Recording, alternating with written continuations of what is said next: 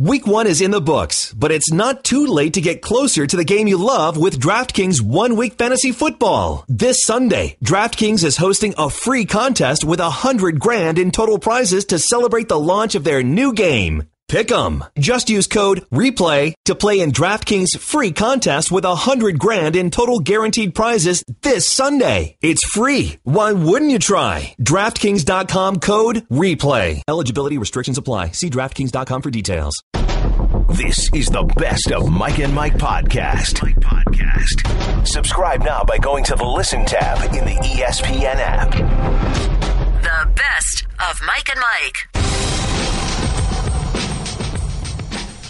Back and better than ever, Mike and Mike presented by Progressive Insurance. Our guests on the Shell Pennzoil Performance Line. All right, here's the deal. Roughly three weeks ago, the Cleveland Indians were 13 games over 500, and they had a run differential of plus 118. In the roughly three weeks that have ensued, the Indians are 20 games over 500 with a run differential of plus 102. It is one of the greatest stretches of baseball the game has ever seen.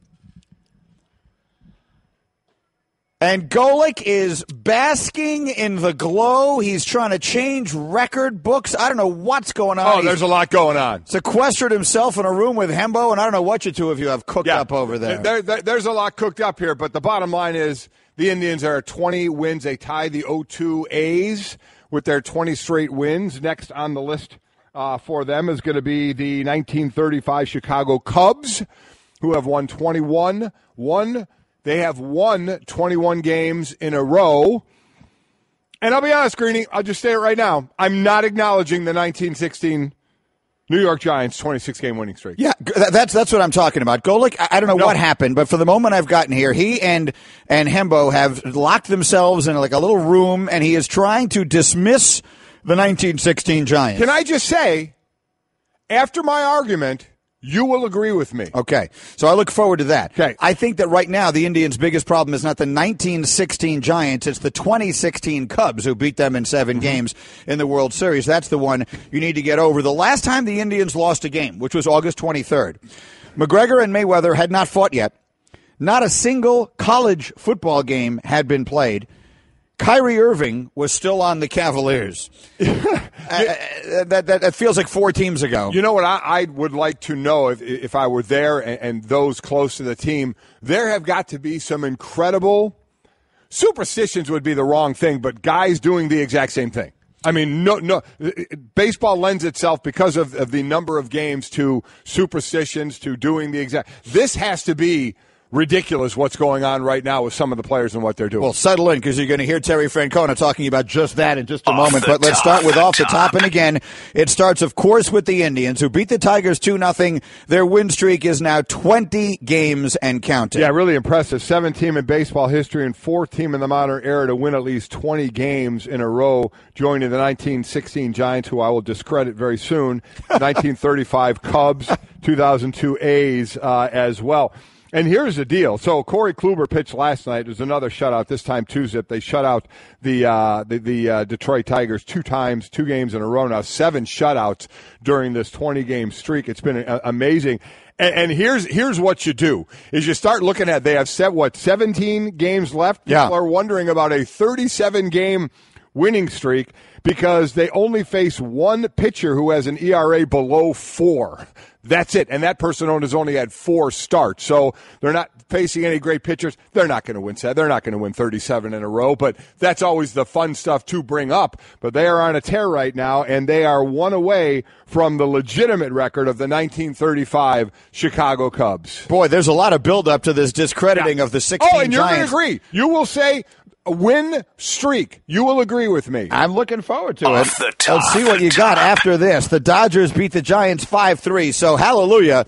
The Dodgers finally won a game. They have the best record in baseball, and they had the longest losing streak of the season. It came to an end last night. Kershaw pitched well. Remember his last outing, he got drubbed in just over three innings, so he pitched well here. Six innings, gave up just one earned while striking out six. The Dodgers also clinched a playoff spot for the fifth straight season, extending the longest streak in franchise history, and it was Kershaw who did it. So that 11 game uh, losing streak is snapped, the longest losing streak franchise uh, since the franchise record 16 game losing streak in 1944. Off the top. All right, Johnson and Johnson is usually something we associate with the Jets. Now we can attach it instead to the Arizona Cardinals. Down goes David Johnson as he's going to go on IR with the wrist, and so the Cardinals re-sign Chris Johnson. Oh, I mean, remember this guy came into the league. He was in the league ten years, ran that four two forty uh, in the combine, was fast. First six years in Tennessee, 09, rushed for over two thousand yards. You know, had the had had the league, you know, uh, by storm with what he was doing, and then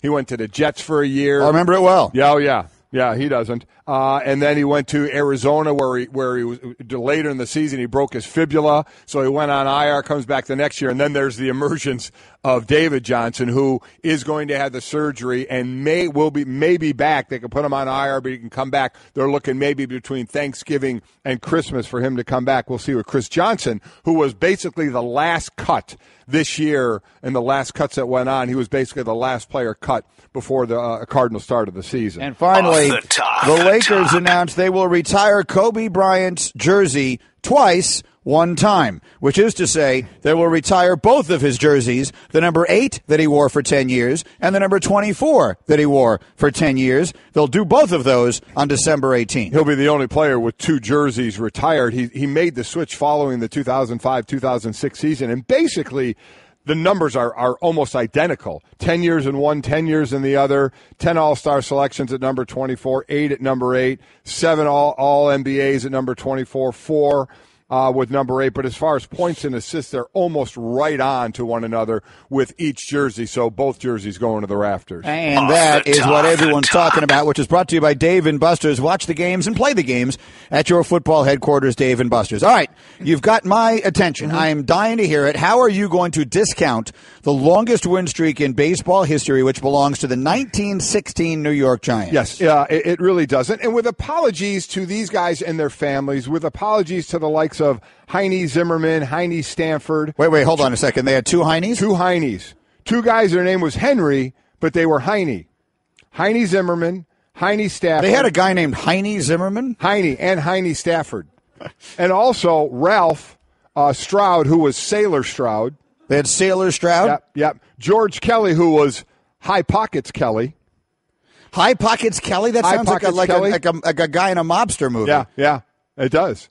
William Parrott, I don't know if I'm saying it right, but Paul Parrott and Harry, is it uh, Sallee, S A L L E E, Slim, Slim Sallee.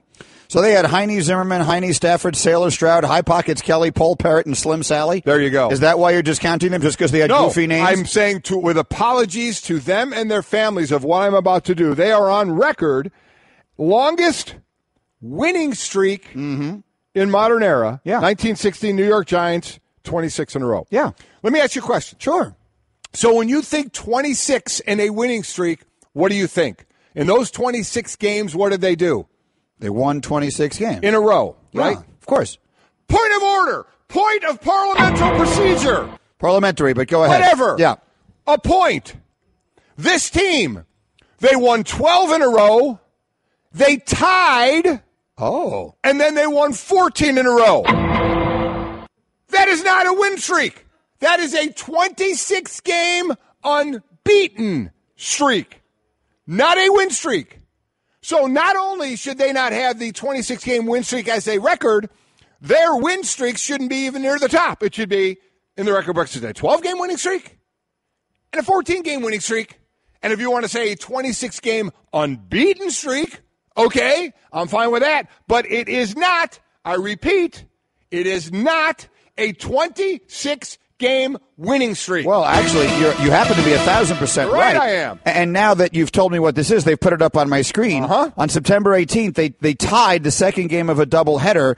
The game was called after the top of the ninth inning at, with a score of one to one, presumably due to darkness. So, so, which is funny, the, the fact that they're just presuming that. But Why didn't they just turn the lights on? remember? You're so funny. Okay, here's the point, though. Yeah. I have a couple of questions. One, wouldn't that make it a 27 game unbeaten streak? Right, the tie would in, would, would, Would be a game, would, so would, yes. would include that. Yes. So it would be, a, but but it, it absolutely isn't not a winning a 26 streak. game winning streak. No, it's not. 12 games, tie, 14 games. It is not a 26 game winning streak.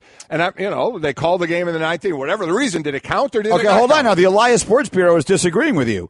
They say it is the longest winning streak. It's the record for most consecutive wins because a tie game breaks neither a winning streak or a losing They're streak. They're wrong. They're wrong. If you tie, there's no, there's no win and it's not a loss. So you go to unbeaten. You don't say win. It is not a win streak. They tied. That broke the 12 game win uh, streak. They tied.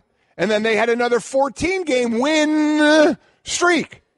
So overall, it's a 27 game unbeaten streak. All right, I'm begging you to stop doing Okay. that. But but here is the one thing I would ask: Yeah. Did they make up that? did it? Did it ended in a tie? They they they left it that way. Hembo, did they leave it that way? They, they leave it that way. All right, so so we got to get Steve Hirdt on from from the Elias Sports Bureau, and I think we got to go. We got to go toe to While toe you get him. Steve Hirdt on, I'm going to get Golic's hammer Okay. because this is going to be solved. You that are way. bigger than Steve. Yeah. he is. I, I- and you know Steve obviously well I for do. years from Elias Sports. Yes, Bureau. He was in the yes. booth and all the Monday night games and everything else. We've known Steve for years, and he's the man behind the curtain at the Elias Sports Bureau. I Bureau. don't want to hear the tie. I would like to have this conversation with. Steve. It's got to do something. It's got to mean something. They didn't win 26 consecutive games. I actually agree with you. They, Thank you. It is a 27 game unbeaten streak, go.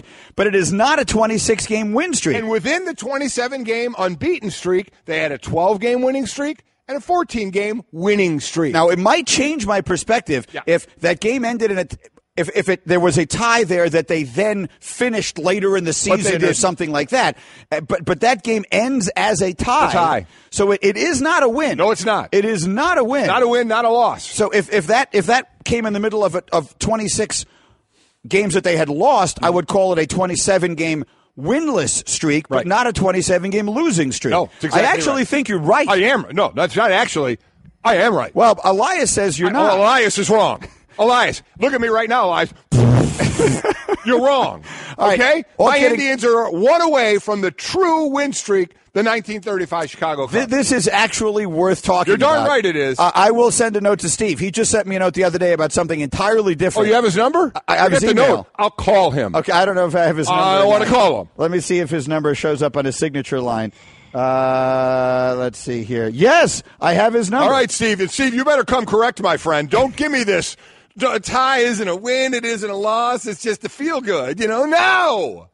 It's not a win, not a loss. I mean, now you're disparaging Steve Hirdt, who did nothing here. Uh, Listen, this is, is, is the- he part of that statement that was written? I, I don't know that. I mean, I, I, he he owns Elias Sports Bureau, Yes. so I suppose he That's is. him. Then, yeah. That's him. That, he he, But he wrote is it. Elias. He, he specific. He personally wrote that. Hembo? That note is from him.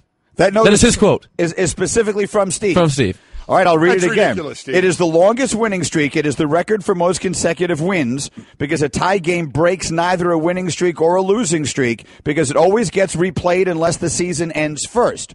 So now what we have to get to the bottom of was in 1916, Yeah. would they, it came on September 18th. That would have been the very end of the season. Would they have completed that game if the season didn't end? And does that factor Well, in? if they completed that game and they won it, then it would be a 27 game win streak. That's correct. You're right, Mike. I have to say, I hate to say this because Steve, I quite honestly don't think you're up to the task of I- running I- Elias. No, no, no. You know, All right, I, I. I, I, question your credentials. The Giants apparently had three ties that year. Um, okay, this actually is an interesting right little side note. Far more interesting than I expected it Uh-huh. to be. I will give you I'm that. just some dumb jock here. Well, yeah, you are, but I mean, I think that in this particular case, you might have a reasonable point. And and and the Bickler has your hammer. Bickler, go ahead, bring it on up. Bring up the ceremonial Golic's hammer. Once again, in conjunction with our understanding of the meaning of the term Occam's razor, Yes. we have developed Golic's hammer, which is the principle by which, in any dispute between two people, see Hirdt, comma Steve, Golic, comma Mike, at the end of the day, the the bigger, stronger one wins. Steve, that's all I have to say, man. he banged his hammer. So we will get Steve on the phone. I've got his cell here, so we'll call Steve and we'll get to the bottom of this because I actually think it is worth uh, pursuing. Oh, it is. Mike and Mike were presented by Progressive Insurance, and Steve Hirdt will join us later, we hope, on the Shell Pennzoil Performance line if we can find a place for him because Lord knows we're packed. Oh no! Listen, I'll bump anybody to get Steve on. Gruden gone. Herbie gone. Herm. No, Herm's not gone. we got we got Gruden. Herbie, Field uh, Field Yates. We'll Gone. bump Field Yates. Gone. we'll bench press Field Yates. We'll just you know have- what? You know what I wonder though, quite honestly. Yeah. Will Steve come on? No, Steve will come on. Will Steve come on and face the music of the truth? The truth that dispels his statement. The hilarious part of this is that you are friends with Steve Hirdt. You just don't remember who he is. No, I don't. You know Steve, and you like Steve. There are plenty of friends I don't like. Okay? there are plenty of my friends that I can't stand. Okay?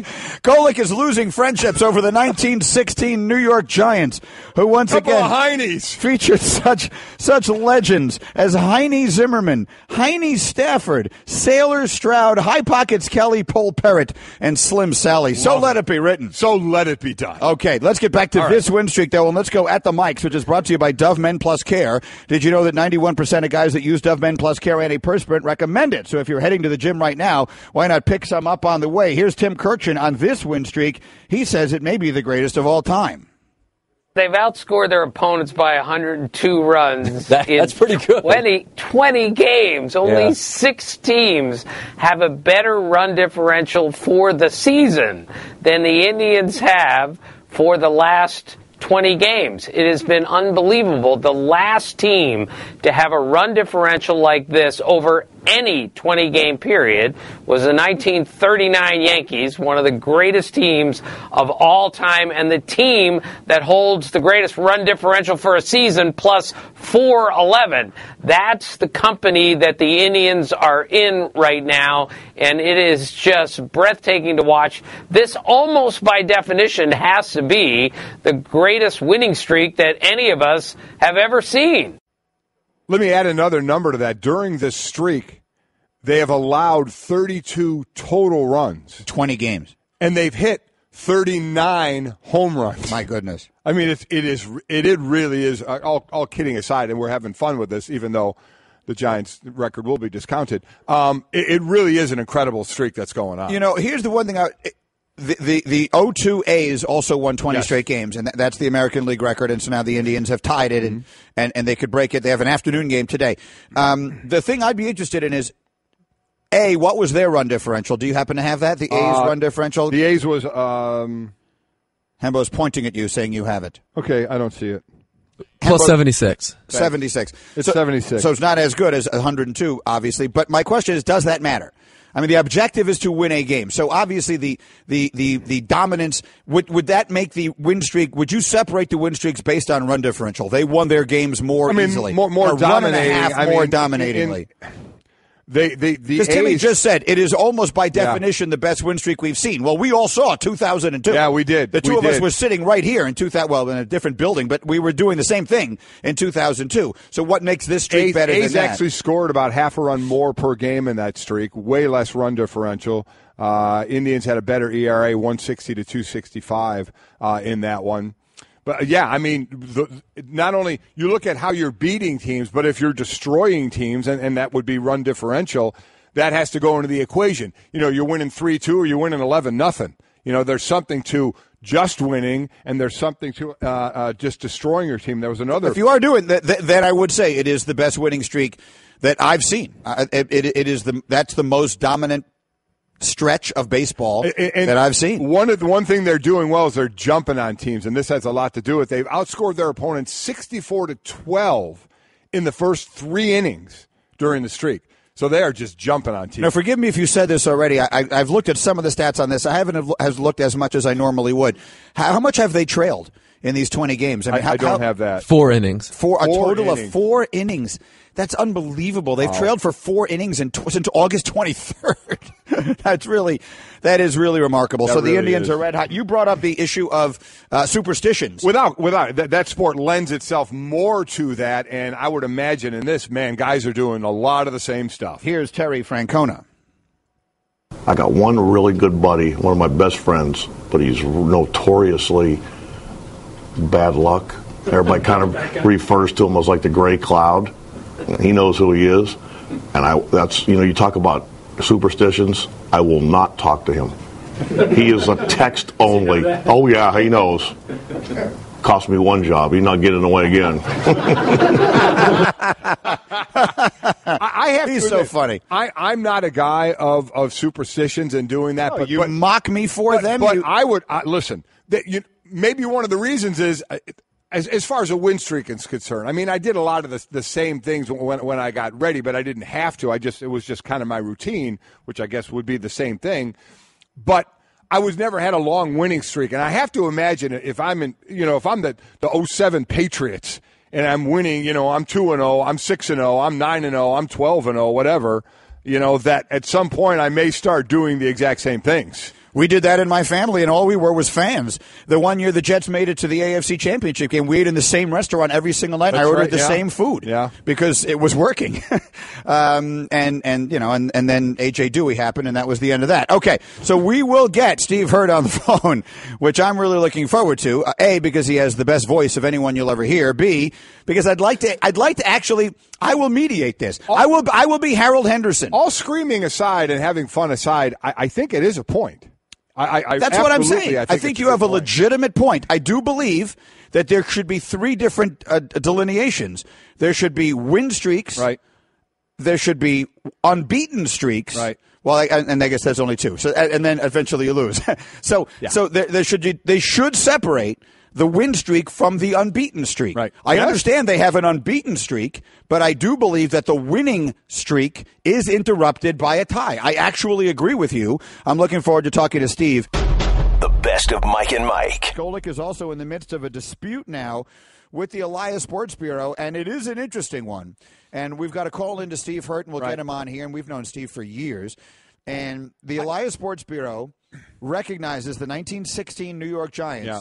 As having a 26 game win streak, even though they had a game in the middle there Right. that was called when it was tied. Yeah, they had a It didn't end in Right. a tie. That's an important distinction. It was a tie at nine innings, and they called it because of darkness. They had three ties that year, and none of those ties were put into their record. So basically, I disagree with how they went about this. They have their reasoning because the Giants won 12 in a row, they tied, and then they won 14 in a row. They did not, in my opinion, have a 26 game win streak because they tied that game. Elias is saying they didn't recognize the ties. They best they discounted them. They didn't put the, their three ties, including that one, in their record. So basically, it went nine. It wasn't a less than five inning game, or and it went nine innings. It got called for darkness, and they basically acted like it didn't happen. That's their argument. I disagree with that. They played a nine inning game. It was a tie. I know you don't discount it, but they played it. They played that game. They do not have a 26 game win streak. One of the interesting things that I'd be curious to know is also do the stats from that game count? Like, do Honus Wagner played in that game? If he had a home run in that game, or whatever it is he did in that game, did it count toward his season statistics? It's it's something that we'll get to the because so rarely does Golic have a beef like this that There actually makes sense. Does. Uh, but we will get to the bottom of that as we continue. Meanwhile, let's get the football conversation started again. Kirk Herbstreit on the way in this hour, and right now it's time for Jon Gruden. And when the Saints first signed him, it seemed like an odd fit. Mike and I talked about it at the time. And watching that game, and I fully believe both he and Sean Payton when they say that there was no real sideline blow up between them. But that doesn't change the fact that he does feel a little bit like a square peg in a round hole. What role do you envision Adrian Peterson playing in that New Orleans offense as the season goes on? I think he's going to be a closer. I think he's going to be a guy they lean on late in games. I think they're going to lean on him in short yardage, perhaps goal line, and I think they're going to lean on him on some early downs, first down, second and one to three, to slam it up in there and set up some play action passes. But you know, if you watch the game, the Saints are missing their starting left tackle. That's significant. They lose their starting right tackle. Max Unger, their center, he missed just about the entire preseason, and the Vikings are pretty good. So, you know, without getting all teary-eyed here, uh, there's a lot to be written yet in the Adrian Peterson file in New Orleans, but he's going to have to get used to sharing the load with two other pretty good backs. So along those lines, before you know, when you're talking about signing him, how much putting on the coaching cap here? How much does Sean Payton need to have a discussion with him? A guy that's used to being the man to now be part of a scheme. What is that discussion like? Well, I'm sure Sean had extensive ex- uh, discussions with him. That's how it goes during these free agent visits. Uh, I'm sure he told him that ball distribution is part of the program here. I mean, we we have a great quarterback that's thrown for 5,000 yards five times and we're not going to hand the ball off every play. We're going to keep Drew Brees at the forefront of the quarterback position. So I'm sure they were uh, pretty obvious, and they laid things out. I don't think they counted on losing both their starting offensive tackles before the first game of the year, but that's football. Mike and Mike and Jon Gruden, and on the other side, what a performance from Sam Bradford, who has been, I mean, I hate to say this, but sort of a dink and dunk kind of quarterback with extremely short passes. The numbers would back that up, and he was flinging it down the field on Monday. What did you see that was different in the scheme from Minnesota, and what do you think that suggests that their season may look like with Bradford getting off to that start? You know, I got excited studying Bradford prior to the game. I thought he played incredible football last year. I know the sports statistical world has a lot of his passes going 10 yards or less, but Bradford got pummeled last year. Uh, he really did. They replaced all five starting linemen for for a reason. Kalil's gone, T.J. Clemmings is gone, Alex Boone got cut, Brandon Fusco is gone. They couldn't pass protect, and this man got punished a year ago and still threw 20 touchdowns, five interceptions, almost 4,000 yards, and broke an NFL record for completion percentage. And he had his offensive coordinator resign in week seven, and he just got there a week before the season. So Bradford can play. When was the last time he was in a premier situation? You know, he, he was drafted by the Rams. That was a bad team. He was a young quarterback. Then he went to Philadelphia and played in a no huddle, never seen before offense. Then he gets traded the week before the season. I think what you're seeing, make a long story short, is Sam Bradford finally in a destination where they've got a pretty good offensive line, an incredibly talented young back, some emerging receivers, and one hell of a defense. So let, us go there for a moment because I highlighted that offensive line yesterday, and, and you just mentioned again five new starters. First, I'd like to know if you've ever seen that in your career coaching, where the one you, next year you come in with five brand new starters on the O line. They were dead last last year in rushing. I love the outside zone scheme with the speed of Dalvin Cook. So first, from that standpoint of just meshing five new guys together from the following you know, the previous year. No, I've never seen that. Uh, we never did that in the preseason game. I mean, that's unbelievable. And, and when you look at the Vikings play their four preseason games, uh, these five starters that you saw play on Monday night had zero reps together. There were bits and pieces where they played one at a time or three or four at a time, but they hadn't played one collective snap together until Monday night credit Tony Sparano, the line coach. Riley Reiff, he moved over from right tackle to left tackle where he played in Detroit last year. And Mike Remmers, and, and you have to give uh, them an incredible amount of credit. The rookie center to boot.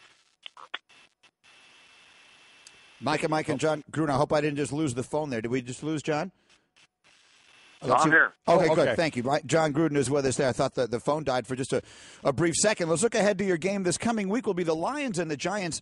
And I want to lump both the Giants and the Seahawks into this question, John. I asked it to several people yesterday. I mean, their offensive lines looked just awful in week one. The Giants, who we sort of knew that was going to be a problem coming into the season, it manifested itself in every way that it possibly could Sunday night against the Cowboys. And similarly, I thought for uh, Seattle in Green Bay. Is that something that can get better as the season goes on without changing personnel? What, what do you, let's look specifically at the Giants because that's who you have this coming Monday. What can they do to make that offensive line more effective uh, as they go through their season? Because right now it looks like an Achilles heel they couldn't overcome. Oh, that's a complex question. I, you know, I, I've always thought that the up tempo, no huddle operation that they like to use with Eli Manning is tough on an offensive lineman. I mean, put yourself in Ereck Flowers' shoes. You're a left tackle. You go to the line of scrimmage. You never know who to block. You don't know what the play is because Eli Manning is going through all these dummy snap counts and code words to try to decipher what play to get to. And then, boom, six seconds before the ball is snapped, you, you get the play, and then you got to get a call, and then you got to get a block, and it's one play after another. It's hard. And remember, there's a lot of line play right now that's not very good. I trace that back to training camp. Watch the Bengals play. Watch, you said Seattle. Some of these teams have a lot of new players. The Lions have a new left tackle. They've got a new right tackle. They've got a lot of new parts. It's going to take time, and we don't practice hard, and we don't put the pads on very often. Good luck. And uh, speaking of new players, Deshaun Watson, all signs point toward him very likely getting the start tomorrow. How do you go about that with a rookie quarterback? He goes in for the second half of the game last week, short week of preparation, and then you may be going with a rookie quarterback. Oh, you might have to talk them into starting after watching their offensive line play last week. I mean, they gave up 11 sacks. Calais Campbell had four. Uh, you might not want to show them the film from last week. That that was a hor- horrific start, but man, Cincinnati needs this game. They're coming off a bad performance, and they've got a pretty good front. I just think you got to really simplify the game plan, have a pretty solid protection plan, and put some bootlegs and some no huddle things in where Deshaun is completely comfortable because this is a tough order going against the Bengals on a short week. Both teams not feeling good about themselves. T- take us back to your experience with him at the, the quarterback camp and everything else, and all of your um, preparation for him leading up to the draft. You know, for those who don't remember, and it feels like so long ago already, you know, your thoughts on him, your expectations for him coming in, because one of the many things that we I, I remember everyone saying was he's the most ready because of the experience he had in college. He's the most ready to start playing immediately. Well, he does have a lot of playing experience, Mike, but he hasn't been in and out of a huddle. He hasn't really run a diverse scheme, meaning they don't change personnel often. Uh, they don't have a lot of sophisticated snap counts and audibles. So I'm sure Bill O'Brien, who comes from New England in a really incredibly sophisticated world of offense, is trying to make the transition, teach him what he wants him to do, and at the same time, he's going to have to perhaps do some things that Deshaun is already comfortable doing. And I wouldn't be surprised to see some no huddle offense Thursday night. John, because there's only 16 games, there can be a lot of overreaction each and every week. And going back to the Thursday game, which seems like about a year ago, should there be some uh oh in New England uh, losing at home, a place they're so used to winning and and being beaten the way they did in the fourth quarter? Any kind of lasting effects from that in your mind? Certainly, you know, I think Bill Belichick said a couple of years ago, and I agree that the first three or four games of the regular season are an extension of the preseason. When you played, Mike, when I coached several years ago, our players actually had two a day practices, pads, and and played quite a bit in the preseason. When you look at uh, a lot of these teams, many of these players didn't play more than 35 or 40 snaps the entire preseason. So they really don't know what's coming out of the bag, these coaches. They really don't know what's going to show up. And a lot of these teams have no continuity, and New England's one of those teams. There's a lot of new players playing key roles that really haven't done that as Patriots. So it's going to be, I think, a little bit of time before we see exactly where they go. Mike and Mike, Jon Gruden with us again. Lions Giants is the Monday night game this week. Lions had a really uh, interesting game this past week against Arizona where they turned Carson Palmer over repeatedly, and then Matt Stafford did what Matt Stafford does, which is throw a bunch of touchdowns in the fourth quarter to win the game. As you're looking over the tape of that game, what are you seeing from Detroit? Well, they hang in there. It's a credit to Coach Caldwell. They didn't play real well in the first quarter. They fell behind, heard some boos, but you said it. Matt Stafford, he doesn't get enough credit for his scrambling ability, his ability to push the ball down the field from all kinds of different platforms. People underneath his feet. Uh, he's got to reset. He's got to make some difficult throws. He does it without any running game. I have not seen the Lions have a good running game in a long time, but they leaned on their quarterback, and their defense is better than people think up front. They can rush the passer, and they have a very opportunistic secondary. I like uh, Glover Quinn a lot at the free safety position, and they've added DJ Hayden, the ex-Oakland Raider, and they get Quandre Diggs back to play the nickel corner. And with Darius Slay, that's a formidable outfit. I can't wait to see the Lions secondary go up against the Giants. I just hope Odell Beckham plays. It's the Lions and the Giants in New Jersey. We'll see if Odell is there. We know John and company will for Monday Night Football. Thank you, John. Talk to you next week. Thanks, John. All right, guys. Have a good one. Jon Gruden with us every Wednesday on the Shell Pennzoil Performance Line. Get instant gold status at Shell. Join the Fuel Rewards program now at fuelrewards.com slash gold. I share that feeling with John. Regardless of what team you root for, I want to see Odell Beckham Yeah. on the field. He's the most exciting player in the National Football League, and it would be nice to see him in the nationally televised spot and just in general. And I think they will look, how different will their offensive line look? How different will their whole offense look because he's on the field? Well, I mean, again, it depends on the play call. You either you can hit him deep on plays where the, where you got to block a little longer, or you can hit him with a slant and he goes 80 yards where you're getting rid of the ball quick. I get what John's point was about the O line in their scheme, where Eli is trying to get a read on the defense of what he has before he calls the play, and then, as he said, you got six seconds to determine who you're going to block him and block him. The other side of that, I'll say, it's pro football. I mean, if you can't do that, then you can't play. I mean, that there, there are a lot Is of every team doing no, no, no, not not, not, not every team is doing that. But then I would say on the other side, if your offensive line is struggling and that's a reason, then you damn well better change it. Then as a coach, you better get out of that and say, you know what, I like running this, but if I don't have the personnel that can do it, then I can't do it. You know, and that's a decision Ben McAdoo has to make and has to decide. But, you know, there are absolutely, uh, they're not the only team where an O lineman has to make a quick few second decision on who I'm blocking, wh- what the scheme is, and what I have to do. You got to do it. That That's your job.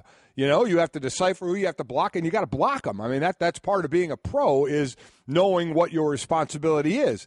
And if the responsibility is too much in that case for linemen, then it, as I said, it's incumbent on the coach to to get them out of that. And they're playing a defense that's better than people think. If you watch the Lions play defense this past week, they had a defensive touchdown. They should have had two. Haloti Ngata had a ball right in Right, his hands that it would have run back for a touchdown. It would have been a, another defensive touchdown. What they intercept Carson Palmer three times? I believe Um, three, yes. So th th their defense is pretty good, and um, and Matt Stafford. If you watch that game and you emerge from it th- still thinking Matthew Stafford is not worthy of every penny they pay him, that I don't know what you're watching. I, I, I don't, I don't even know what you're talking about. That guy is the whole offense. Um, they don't have Calvin Johnson anymore. They don't even try. They don't even pretend they're going to run the ball. He just stands back there and flings it. And in the fourth quarter, when they wear teams down a little bit, he just he's just phenomenal. And I know that he makes some mistakes, and and people will always say, well, they're always coming from behind because they're always losing. Because they, I, I get it. But at the end of the day, they win because he makes big plays late in games every single He does. week. They're, they're never out of it, and that's what you have to recognize when you're facing them. Even if you get a lead on them, you know that they're they're Captain comebacks. All right, we still have a lot on this on this game that didn't count. We've got people defending Elias. We've got people defending Golic. Golic's hammer is being questioned this morning. You're listening to Love Advice with Leanne. Caller, you're on the air. Uh, hi, Leanne, longtime listener, first time caller. Why, in your professional opinion, do you never take my calls off the air? Is this Carl? Yep, it's Carl. I mean, we had a few dates, everything was great. I thought, uh, Well, you know, when you switch to Geico, you could save a lot of money on car insurance. okay, awesome. You should call them. I will. Geico, because saving 15% or more on car insurance is always a great answer. So much good college football stuff going on. Let's jump right into it here with Kirk Herbstreit, his regular weekly visit with us. College game day will be in Louisville for number three Clemson and 14 Louisville, and another great performance uh, or, to, or great start to the season by Lamar Jackson. Mike was just breaking it down for you on E ESPN2. Good morning, Kirk Herbstreit. Good morning. How you guys doing? Doing well. Great. I want to start with the game that you guys had on Saturday night, which was fascinating Ohio State and Oklahoma. And I was extraordinarily surprised. At halftime, I was positive Ohio State was going to win that game because Oklahoma so thoroughly dominated the first half and just couldn't couldn't nothing on the on the scoreboard reflected it. And then the second half happened and Baker Mayfield happened. How would you describe that performance by the quarterback, by the team, and, and what do you think that sets up for Oklahoma potentially for the rest of this year? Well, first, I think you have to recognize the job that, that Lincoln Riley and, and Mike Stoops with the defense, just the, the preparation that Oklahoma had. Um, you know, I, I don't know if it was the loss to Ohio State a year ago. You know, they had won 10 straight. There was a lot of buildup during the week about uh, Baker Mayfield uh, referring to uh, Ohio State beating them in Norman. And I don't know if you, if you guys have watched Baker Mayfield closely in the last three years, but it's not like, wow, who's this Baker Mayfield? That's kind of who he is. He, he's he's incredibly competitive, kind of a chippy guy. It's how he just it's just how he plays the game. And so I wasn't necessarily surprised by his performance, but I was really surprised by the youth around him and the way they played with such maturity. And they were, like I said, they were just so well prepared. There wasn't anything that surprised them. And so it really paid off. They probably could have won by even a larger margin if you think about the first half and, you know, going for it on fourth down a couple times and that type of thing. But they, they dominated the game. They deserve all the credit. Uh, Lincoln Riley is both a head coach and a play caller, had his team ready to go. And Mike Stoops, you know, th- this is a guy that maybe 10 years ago was known as one of the deans of the, of the defensive side of the ball. And for whatever reason, Oklahoma's just kind of gotten away from being that dominating defense in recent years, and the, it's the best they have looked at the two, at the corner spots, and just with the kind of the aggressive attitude uh, for four quarters, it's the best they've looked in years. And now the question for me with Oklahoma is clearly by their emotions after the game, they wanted to win this game pretty badly. Can they maintain that energy?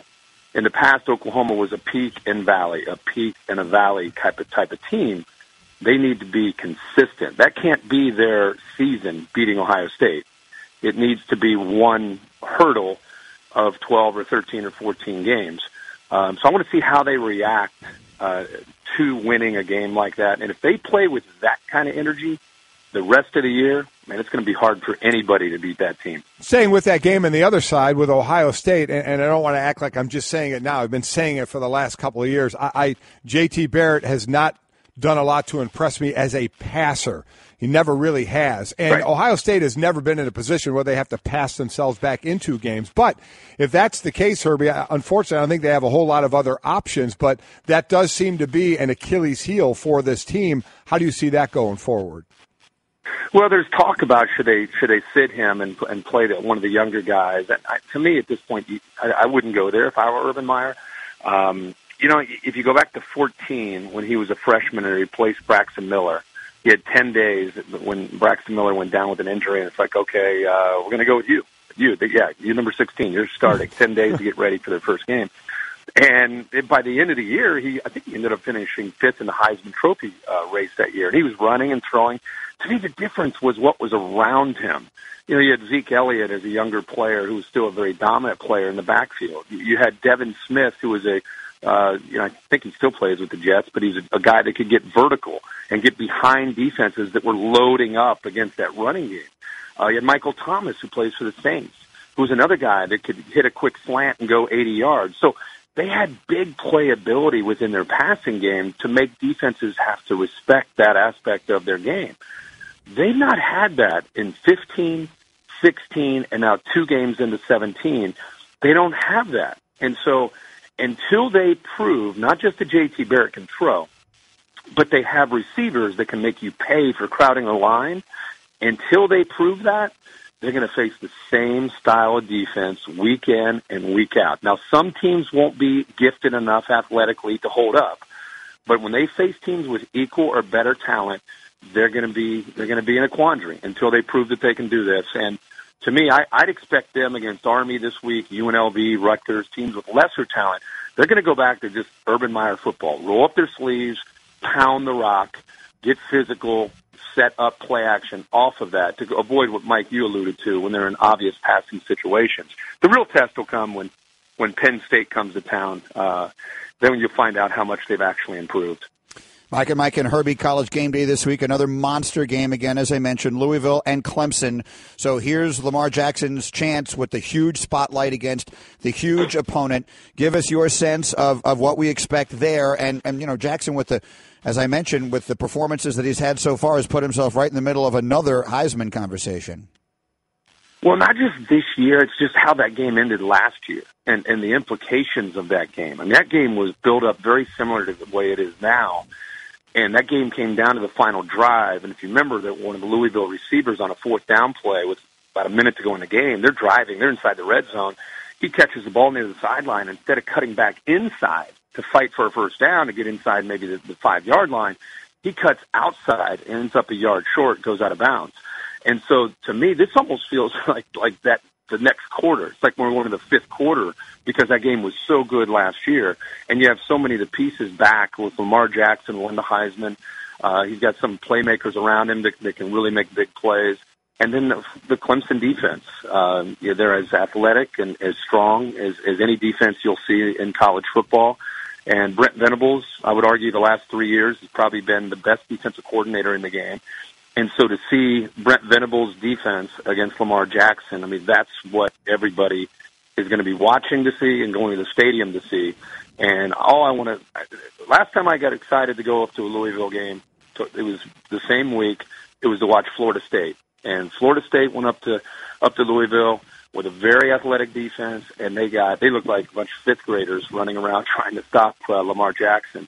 Uh, he's the most electrifying quarterback with the ball in his hand since Michael Vick when he was at Virginia Tech. And if you do not corral him, if you do not have leverage on the football, he's going to make people miss and make them look silly. So Clemson did a pretty good job of it a year ago at home, but it's a different game on the road. So how uh, how that defense plays and how they prevent him from making a big play, if they can do that, uh, that'll probably dictate uh, the flow of the game. A game that was going on the same time as yours. I was there in South Bend as Georgia came up there and brought a nice contingent of fans with them. And I think, as I talked about after that game, their speed on defense really showed, and certainly the rushing attack on offense to get the one point win over Notre Dame. I know there were some some issues with Brian Kelly and dealing with a reporter after that game, but but on the field, what? How do you assess both these teams as Georgia goes on, obviously, to play that SEC schedule? So obviously Tennessee and Florida, Auburn on the schedule, and Notre Dame still obviously with Stanford and USC and Miami on their schedule on where these teams are.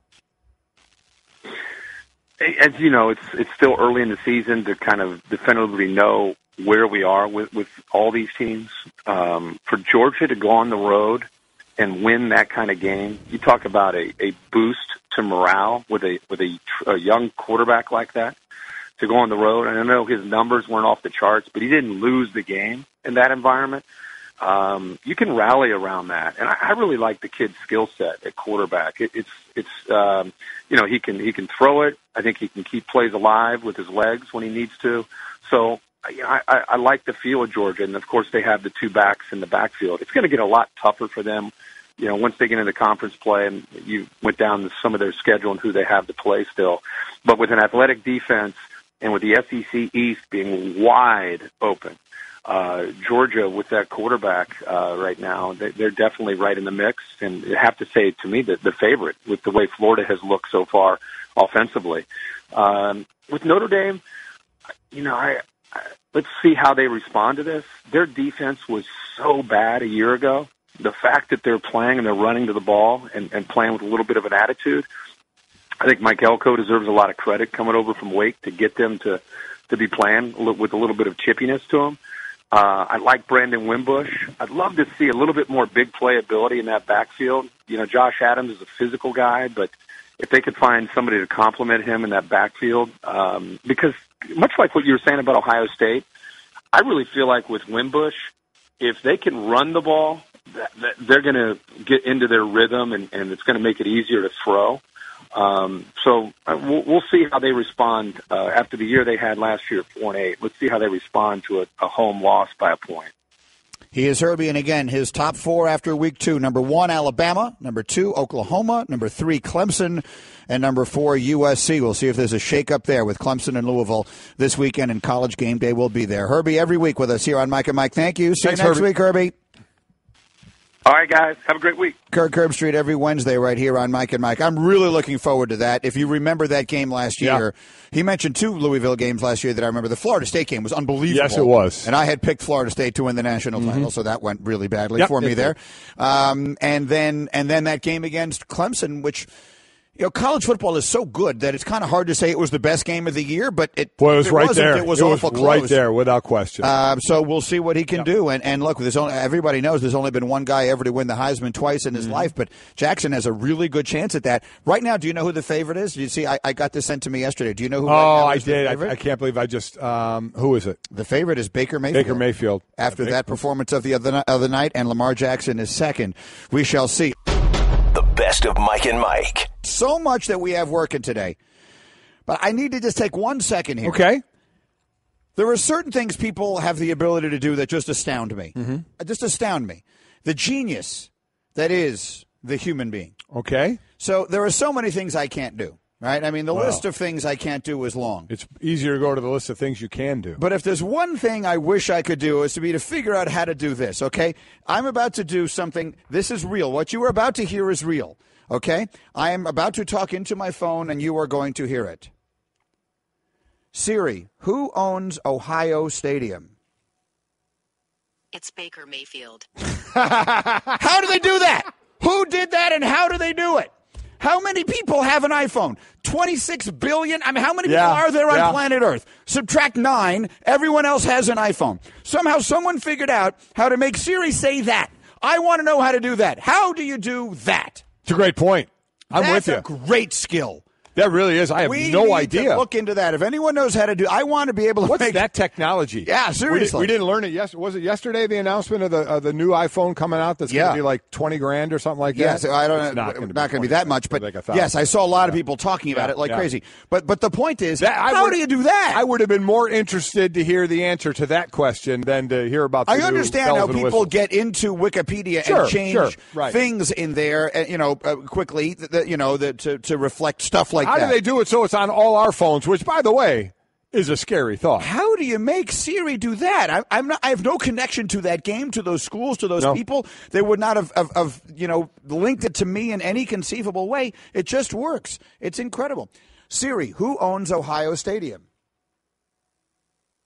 Here's what I found. Okay, never mind. I, I it, it picked up the just works, Ah. but it still it's still working. And you're going to need a new phone after And, that. and now, and now I need to, to enact my Apple uh, Yeah. protection or whatever that thing is. Where they went in and they just gave me a new phone. It was great. But anyway, the point is, how do you I don't make know. Siri I don't do know. that? I, I, I'm with you. I would like to know that as well, and that technology. That's the greatest skill ever.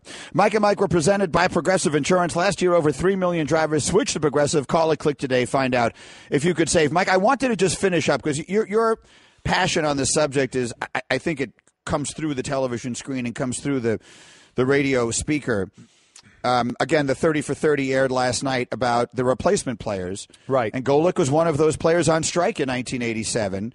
And what doomed your union was the fact that the biggest stars in the sport crossed, the picket line. Crossed the picket line. We all we all walked. We all marched. We were all thought we were in solidarity, and uh, very quickly it eroded to the point where by the last replacement game there were 21 Dallas Cowboys that had, that were, had crossed the picket line and were playing in that game. After I was at the Houston Oilers then. And I was very pro-union acting during that. That's when I got released. I was I was starting nose tackle before that strike and I was very union uh, guy during that strike. And the Oilers, after that strike was over, they expanded the roster so that you could add as many people as you wanted.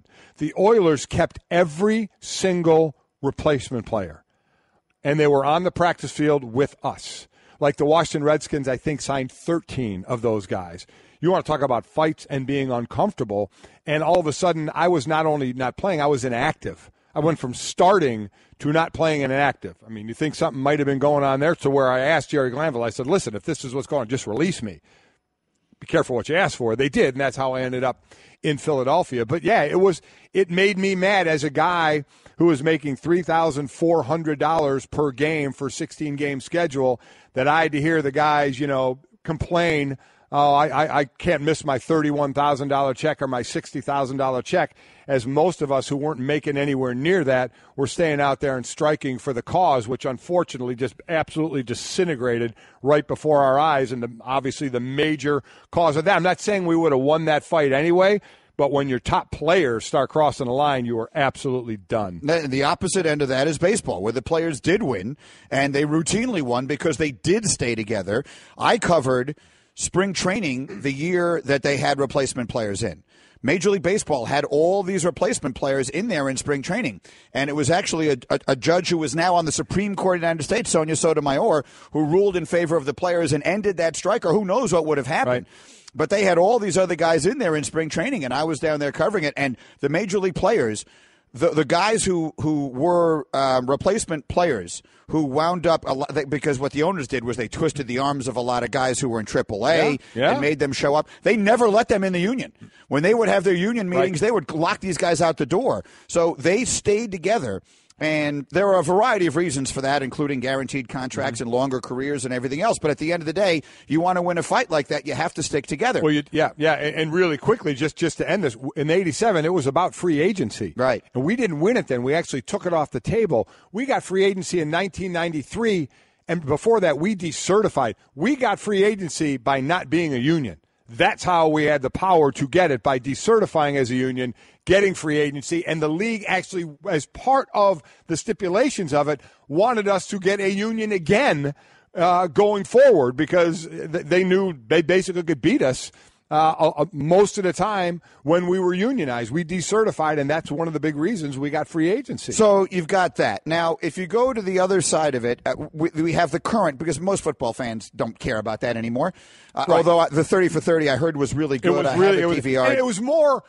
I, I'm not as far as the 30 for 30. I didn't explain really. It was more on the side of the replacement players. The quarterback for the Redskins, Ed Rubbert, he was one of the first replacement players. After the first day he left, he felt horrible about crossing the picket line. He left, but then they didn't have a quarterback and he went back. I mean, it was stories about more about those guys than anything else. It was very interesting, but it certainly brought up the other side of memories for me. But for the current um, issue, we have so many people who look at the current collective bargaining agreement and think that the players did a terrible job and they lost and everything else, and they blame D. Smith and whatever the things. case may be. Here's the bottom line. All right, so because Booger was in here for you one day and he was saying a lot of that, and then Jeff Saturday came in, and that was not to ref, to rebut him. It was Jeff's day, and he was in here. Now Jeff was the I, I don't think he was the president of the Players Association then because Dominique was, but Jeff was a very high ranking member of the Players Union and was involved in all those negotiations. And one of the things he said to Booger was, dude, what you have to realize is my phone was blowing up every single day during that lockout with players saying, man, you got to get me back on the field. I don't care what happens, get me back on the field. I don't care what happens, I'm not missing game checks, get me back on the field. So the football players aren't going to have it. They're not No. going to sit. They're not going to lose those paychecks. And you know who knows that? The owners. Oh, the owners, And so they have no chance. Yeah. So the whenever anyone blames the leadership of the union for the deal they currently have, I always say, listen, you're just pointing in the wrong direction. They're fighting an unwinnable and, and, and understand the, the players have won some things. Listen, that '93 when we fought in '93, the the the benefits package greatly improved, greatly improved.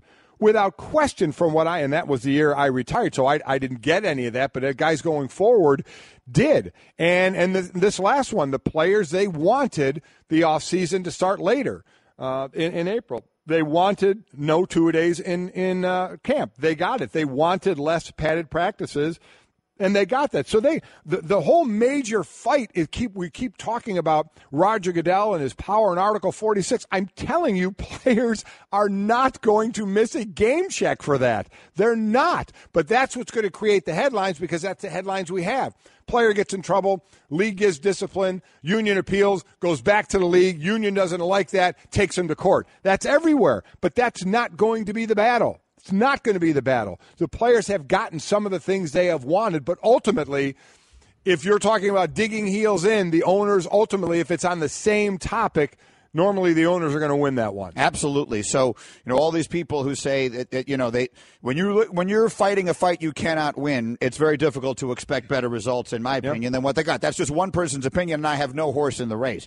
Uh, a bunch of Twitter reaction on this. NY Raider tweets: When the big money players crossed, did that cause friction in the locker room with the other Well, players? sure it did. I mean, you you talk about in Dallas. Look what happened soon after. So after the strike in, in '87, look what happened to that team. Tony Dorsett asked for asked for a trade that next year. He wanted out, and by '89, not long after, who was the owner? It was Jerry Jones. No Right. more Tom Landry. No more Tex Schramm. I mean, they were gone, and, and that whole thing. And they were institutions. For those of you not old enough to remember, they were institutions in Dallas and in the National Football League. But yes, there was. I mean, are you kidding me? Listen, we struck. It it got contentious, and after the strike, as I said in Houston, they kept every single replacement player. You don't think there was bad blood there? You don't think there were fights that went on there? So in every team, and I don't know each team how many they kept. Like I said in the in the show last night, you saw Washington signed 13 guys. And they said it wasn't great in the locker room. How, how could you expect it to be? You, th- these guys crossed a picket line and continued to play, and they did it for their reason. I'm not going to sit there and bang on every one of those guys. They did it for their reasons. They all they they interviewed a bunch of different guys for their reasons of doing it. I'm not here to judge them about it. But at the time, I know when I'm looking in that locker room and I see a guy that crossed that picket line to be a replacement player, I wanted to punch him. I wanted to get in a fight. That's what we all wanted to do, and it happened out on the field. I mean, it, it was not a pretty thing for a while, no doubt about it. All right, Mike and Mike, all this Twitter that we're getting here through the 1 800flowers.com Twitter feed. Nothing makes up for your football obsession like a surprise from 1 800flowers.com. To order a dozen multicolored roses plus an extra bouquet and a vase for just $29.99, go to 1 800flowers.com slash ESPN. Okay, little quick um, foray back to my days in journalism school. Okay. One of the things that they teach you in journalism school is headline writing, mm-hmm. which, as I as, as I think, is more important than ever now, because back in the day. Headline writing was meant to make you want to read a story in a newspaper. But generally speaking, I don't know exactly how they calculated this back then, and it's not really the important part of this. You already had the newspaper. You had already Right. bought the newspaper. Now these things are measured in clicks, so I think the headline is even more important than it's ever been. In what I do for a living, we've used it in teasing and trying to get people to listen. Right, and, and just for fact, I, I didn't go to journalism school. I had always thought when I saw an article and a headline that the person who wrote the article also wrote the headline, and I found out that is that Not true. No, obviously that's not editors true. uh, at newspapers uh, write the headlines. I, I don't know how that works on, on online sites, but either way, the point of this is there was a great headline in a story today that uh, jumped out at me immediately, and that is "Coach marries player." Now, obviously, you can't have a coach marrying a player. No, you cannot. Then, regardless of the sport, regardless of the circumstances, Right. you cannot have a coach marrying one of his or her players. It just does not work that way. Except in this case, it's perfectly fine. At Murray State, defensive lineman Bishop Woods and his fiancee Caitlin Myers, who welcomed their first child four months ago, were tired of waiting to exchange I do's. So he told uh, Myers Tuesday morning that he found someone who could marry them.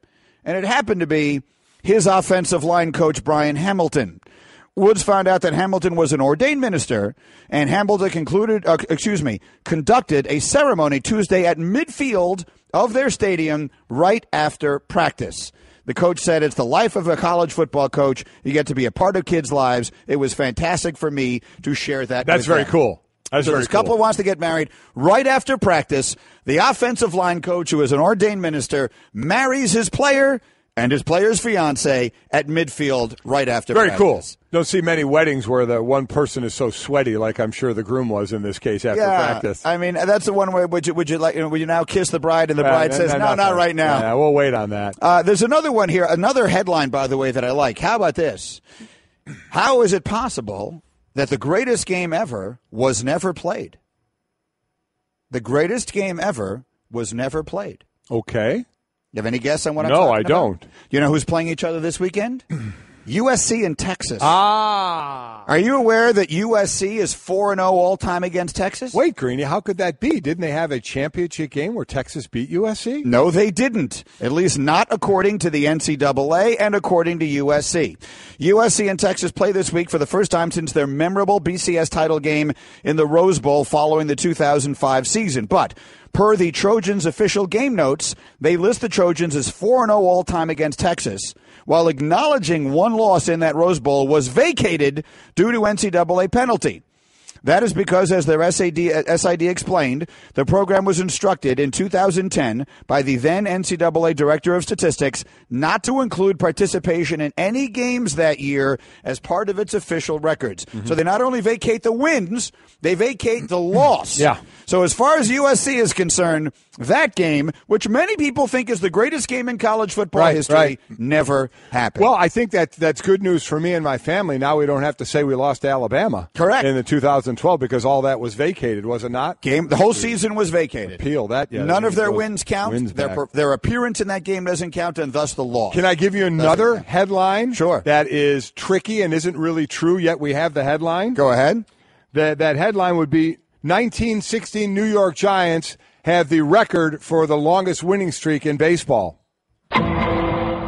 No, they don't. This is a really good battle that we have going on today. And, and have we heard back from Steve yet? He's coming on. Okay, he's coming on what time? Oh, good. He didn't Nine run. oh five. Okay, so at at the top of the next hour, we'll have Steve Hirdt on, who runs the Elias Sports Bureau and is a great guy. And his the position of the Elias Sports Bureau is the 1916 New York Giants, who won 26 consecutive games. Right. But sandwiched in the middle, they had a game that went nine innings. Right. Got called as a tie. Right. The game thus ends as a tie. As far as we can tell, the statistics count, but the tie is not counted in the standings. They do not consider that tie breaking up the win streak. So while Golic is arguing it should be an unbeaten streak, Right. Elias actually counts it as a winning streak. And I disagree of with that. 26 consecutive Those games. Giants, uh, led by a couple of guys named Heinie, Heinie Zimmerman and Heinie Stafford, to go along with a Sailor Stroud, a High Pockets Kelly, a Pol Perritt, and a slim uh, uh, is it Sallee. Uh, with all apologies to them, they won 12 in a row, they tied, and then they won 14 in a row. So that is a 27 game unbeaten streak.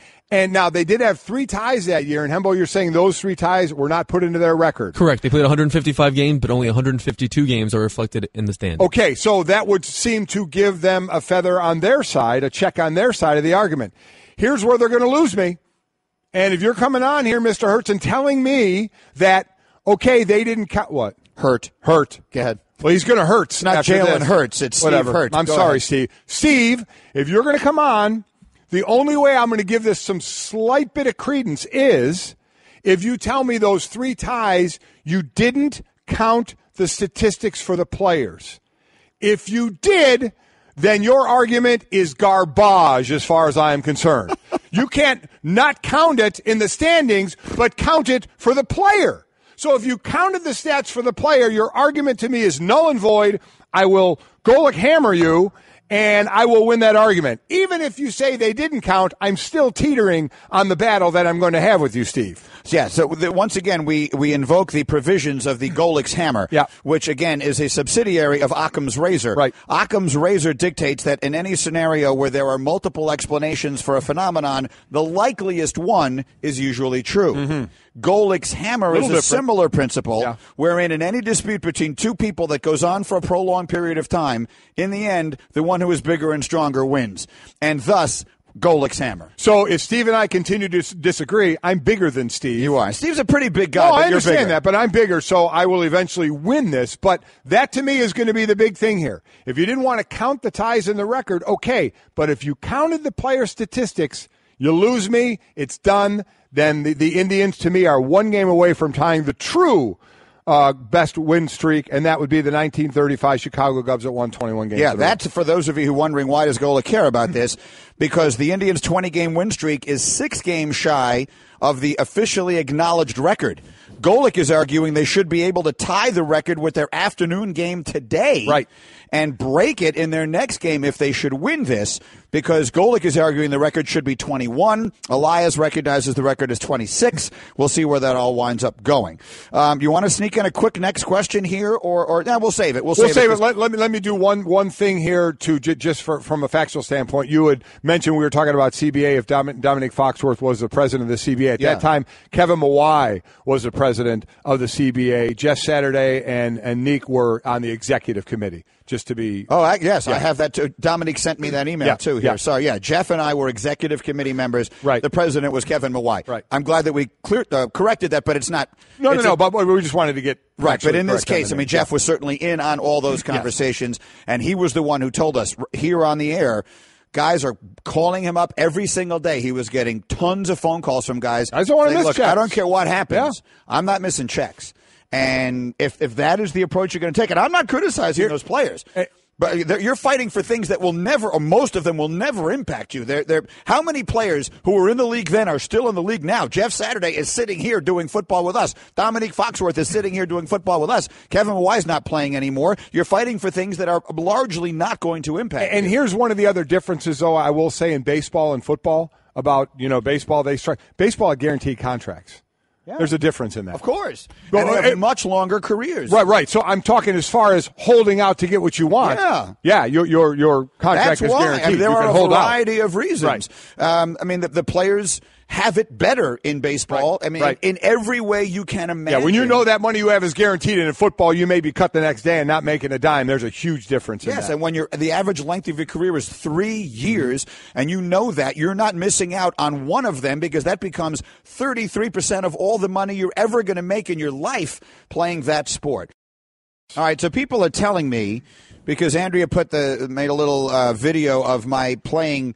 The, the thing from Siri that they take that from Wikipedia, but I can't find it on Wikipedia. I don't see it on Wikipedia. So all the people who are telling me it's Wikipedia again. If you and by the way, Herman Edwards is with us here. Good morning, Herman. Good morning. You want to? Yeah, I know you're excited about You're that. going to right enjoy there. this. Really is. I give it to on. you with a toy we go. here. I'm going to I'm going to do this for you again here. So this is just me talking to a phone. Siri, who owns Ohio Stadium? Checking out Ohio State. Oh, see now they've changed it. Oh! The time that I said it, they changed it. Look what I've done. Who changed it? But who changed it? I don't know, but it worked when we just did it 20 minutes changed ago. it? How do they know how to change it? Siri's boyfriend changed it. Siri is a boyfriend? I mean, I don't, You didn't know that? No. Oh, you didn't know that? No. Oh, come on. We're just learning all kind of You things. didn't know that? Come we? on. This is a very different kind of day. All right, Mike and Mike, Herman Edwards is here. Let's get down to business. A bunch of different things I want to get into with you today. And let, let's start with you're a head coach.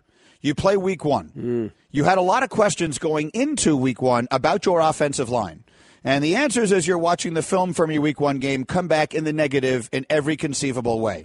Let's say, for example, you're the coach of the New York Giants. Yes. What do you do? What, what, what do you do when your offensive line is struggling? Well, uh, you have to bring more guys in to protect. You can't be this quick passing offense that you would like to be, in the fact that they can't hold up. Now, who you know who who, who was your competition? Obviously, that has a lot to do with it too. You know who who, who did you play? But but I think going into this, um, you're probably going to have to use the backs a little bit more in protection, maybe even the tight end. Uh, problem with the Giants too is that without Odell Beckham, when you line up, you have no one that tilts the field as far as the defense. So when you talk about the Cowboys, a couple things. First of all, the Giants didn't have enough plays. The Cowboys had the ball for almost 35 minutes. Mm-hmm. And so now you feel like every time you go out there, because you don't have a series of plays, you're almost compelled to say, come on, guys, we got to go because they're keeping the ball away from us. And so when you get into that, as well as there's no one that scares them when they break the huddle as far as the defense of the Dallas Cowboys because Odell Beckham's not out there. So the field doesn't get tilted. So, barring injuries or anything like that, when you were a head coach, you had Mm-hmm. expectations of your team going into a season. And then after week one, again, barring injuries, losing anybody, did you ever finish week one and go, oh boy, okay, I didn't see that problem? Well, well, going into week one, I, I think a lot of teams don't know who they are. To be quite honest, with, with the way games are being played in the preseason and the practice schedules, I don't. I think after about week three, you figure out your strengths and your weaknesses. I I, I, I look at week one now and go, you know what? Ah, just kind of put it over there and go. If you win, you're excited. If you lose, you go, okay.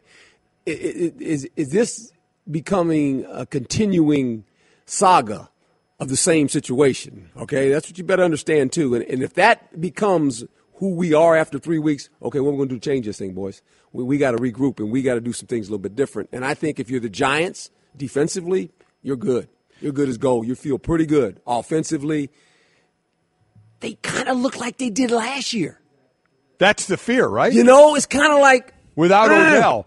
How you look last year and then don't have. Odell right now. You knew they couldn't run the ball. Right. But you figured, well, maybe they can throw it. Now, look, the Dallas Cowboys are a good football team. Let's just don't take that away from That's the not Dallas. a juggernaut defense they're playing by any. Uh, no, it's not. Yeah. No, it's not. And that, that, that, that, that, that's the concern a little bit with the Giants. Mike and Mike and Herman, you mentioned you give it three weeks. Not if you're Bill O'Brien, you don't. He's he is a man with a quick hook, and he appears ready to exercise it. He already pulled his starter Tom Savage out of his first game at halftime, and while he's not announcing a starter, all signs seem to be pointing toward the rookie Deshaun Watson tomorrow night in what sets up to be a pretty big game between two teams who got thumped in their openers with the Texans and the Bengals. What do you make of the decision, if he is indeed doing it, to go to the rookie this quickly? That doesn't surprise me. Uh, I always felt like it, Savage was in pencil only as a starter and how he was going to fare this first game. Now, no one believed it was going to be this. When you look at the numbers, you go, well, you know, I was in L.A. and, you know, I was doing the, the Colt uh, Ram game and And I'm watching this thing and I'm going, huh? Is it what is this? No. And I and I turn back around and watching some more. I'm going, woo, this is not good for Houston. And by the third quarter, I'm I'm in the in the booth and I'm telling them, hey, they ought to put the rookie in. They said, Coach, they're not going to put the rookie in. I said, oh, put him in. I said, put him in. I said, because first of all, they can't block those guys, and at least he can run around and go make some plays and try to make a play. But but I just think now you have to have a a quarterback with, with your situation the offensive line, and they, they you know they, they couldn't protect. You have to have a quarterback that can move. He can at least move. You can move the pocket with him. Savage, you know, he's a drop back passer. He to sit in the pocket, throw the football. Well, they can't do that right now. So this was a little bit of a, a head scratcher, but then again, it wasn't in this sense. With all the energy that uh, this team and, and, and this in Houston went through, you know, with the you know, it's kind of like, okay, the emotion of the crowd and all that, and that was really good in the beginning, but then I think it was just so much energy on other things that Jacksonville went in there and got after him. So for a guy in you who made a quarterback change on a plane, uh, what what plane, yeah. what yeah. What's the discussion that Bill O'Brien's got to sit down with Savage alone, Deshaun alone, or them together? I mean, what? eh, Then to boot, it's a short week, so this all has to happen pretty quickly. Uh, well, my discussion was uh, I called our because I was sat in the back of the plane. I was sat in the last row in the back of the plane, and the coordinator sat up front, first class. I asked the stewards just go get Hackett, and bring him back here for a minute. And he comes back, and I said, "Hey," I said, "Guess what?" He looked at me, and I said, "Yeah, ten. Get him in. He's starting this week." And he goes, "What?" I said, "He's starting." He said, "Really?" I said, "Oh yeah, really. Get him ready." And then I brought in Vinny uh, and told Vinny, and I said, Vinny, I said, hey, the way we're playing right now, I said, I could change the left tackle, change a couple guys on defense, nobody cares. I said, but if I change the quarterback, I get everybody's attention. He says, Coach, I got it. I get you. And brought 10, and when I brought 10 in now, I don't know what coach is going to do with, with Deshaun. I said, it's your ball. You go play now. It's your team. I said, the only way you can lead them is win. You don't have to rah-rah guy. When you win games, you can lead these guys. What if ten was a rookie like Deshaun is? How how, how would you have treated that? Chad was pretty young. Was it his second year? Yeah, and, you know he hadn't played, and and I just said, don't you don't have to be the rah rah guy. You lead by winning. I said, you go win, and then they'll follow you, and I'll help you. And I think he's got to give the ball to Deshaun and say, look, I know your strengths. You've played enough in, in, in the preseason.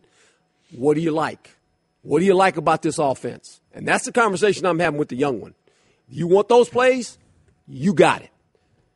And play that way. And the team will go, we got it, coach. We know. And look, these guys watch this competition all Right. all preseason anyway. It wasn't a sh- it's not going to be a shock to the teams like, oh, we're going to start a rookie. They're going, hey, yeah, put the guy in the game. Let's go. Mike and Mike Herman Edwards is here with the Straight Talk brought to you by Straight Talk Wireless. Best phones, best networks, no contracts. For those who don't know, the 10 he's talking about That's is the Chad, beloved Chad Pennington. Um, let's talk about can a, can a, what was the expression? A leopard? Who changes his stripes? What, what is it? What, what, what animal leopard changes his changes- Yeah, yeah. Alex Smith Oh. and Sam Bradford Oh, boy. flinging it, flinging it downfield. I mean, one of them was was I mean, the, the, these are the kings of the dink and dunk, the short pass, all the safe stuff. And all of a sudden, on Thursday night in a nationally televised game, you got Alex Smith flinging it all over New England, and then Monday night in a nationally televised game, you got Sam Bradford doing the same against New Orleans. Is that something you expect to see more of? Is that something that you think was dictated by what the defense was giving? Because if so, those are two teams that looked awfully good. They did. Uh, Sam Bradford, we know, was an accurate quarterback. We didn't anticipate he was that accurate throwing the ball down the field because that's not his forte as of late. Now all of a sudden that's changed a little bit, and you got a coach. You know, his his OC has been with him from the beginning. He was with him when they drafted him with the Rams. You know, he, he has been with him. He's in Philadelphia, so he knows. He, he groomed Sam Bradford basically when he first came into pro football. So he knows his strengths, and, and I think did a nice job of really devising plays and formations to give him opportunities to throw the ball down the field. Not risky throws by any stretch of imagination. Hey, by the way, Diggs made a couple catches where Yeah, it's like, did. okay, it's 50 50 ball. I'm trusting this young guy, and he goes up and catches the ball. So, you know, are they still a little bit dink and dunk? Yeah, but he's going to take some shots. And I just think it's all orchestrated by formations and personnel. All right, we're going to keep Herman here. Coming up next, there is a um, it's a leopard that cannot change its spots and a tiger that cannot change its stripes. Oh, okay. We have these discrepancies uh, regularly okay. here. We know they live in the zoo or in the jungle. we got that right, right? Okay.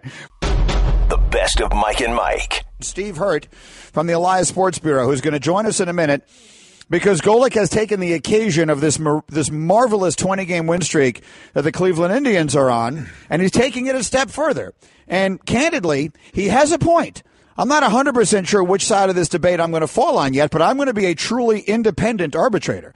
I'm not going to be Harold Henderson up here, just, you know, carte blanching whatever decision it is that you make or Steve Hirdt makes.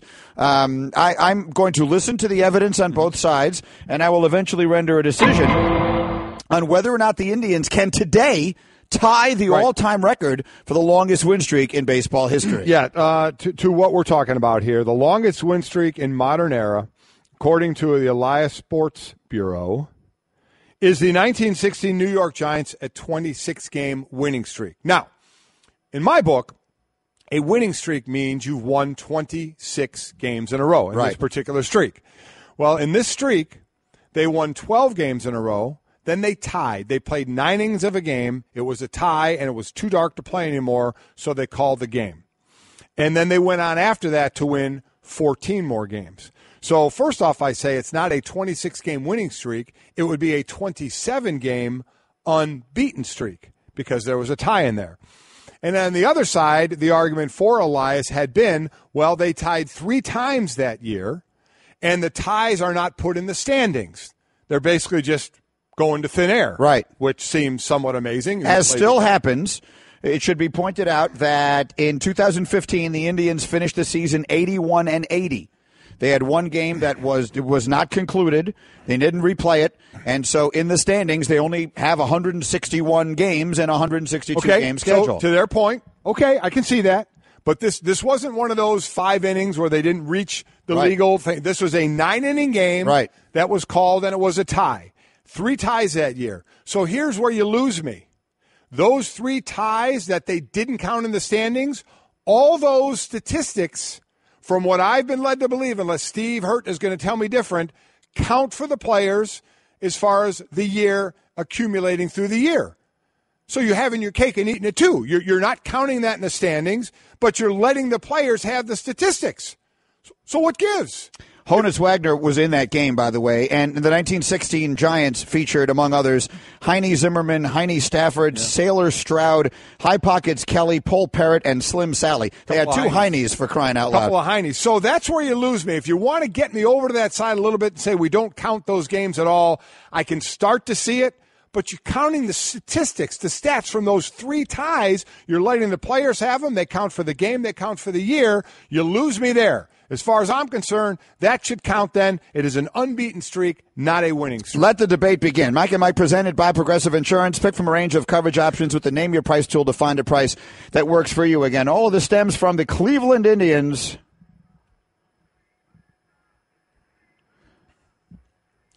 They're playing great ball. Who have won 20 straight games and have an afternoon game today in which they could make it 21. Our friend Steve Hirdt from the Elias Sports Bureau is standing by and he is ready to join us now on the Shell Pennzoil Performance Line. Good morning, Steve Hirdt. Good morning, Mike and Mike. How are you? Good, Steve. We're doing great. So let me set this up so there'll be no prejudicing of the of the jury here. Okay.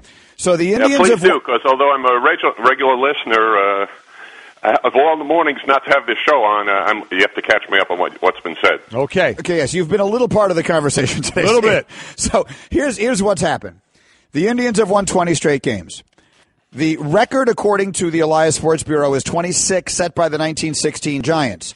Golic is arguing it should be 21 games set by the 1935 Cubs because there was a tie that fell in the middle of the 26 game win streak of the 1916 Giants. We read earlier your explanation of why the tie does not interfere with a win streak. For those just joining us now, can you please explain your side of that?